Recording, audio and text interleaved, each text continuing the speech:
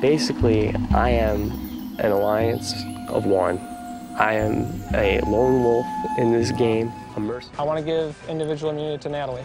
So I had to talk to her like I'm an animal. So I said, I feel we owe it to the island's spirits that we have learned to come to know. I guess they're right.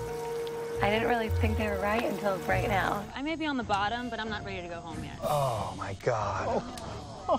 No way. Oh my god. You didn't know? I had no idea. This is my favorite moment. Oh my god. Wow. Oh my god. I love